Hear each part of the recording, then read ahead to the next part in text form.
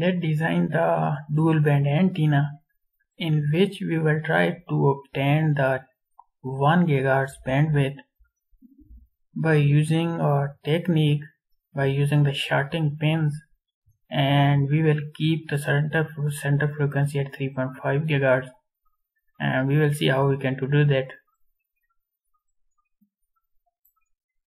This is the antenna geometry we have and let's see the results this is we have the bandwidth of this antenna. That starts from 2.8 to 4 gigahertz.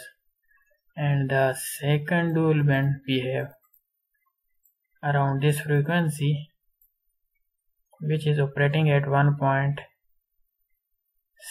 1.7 gigahertz if you need some help you can just email me or you can whatsapp me. I will going to explain you how to do that. And if you have some project let me know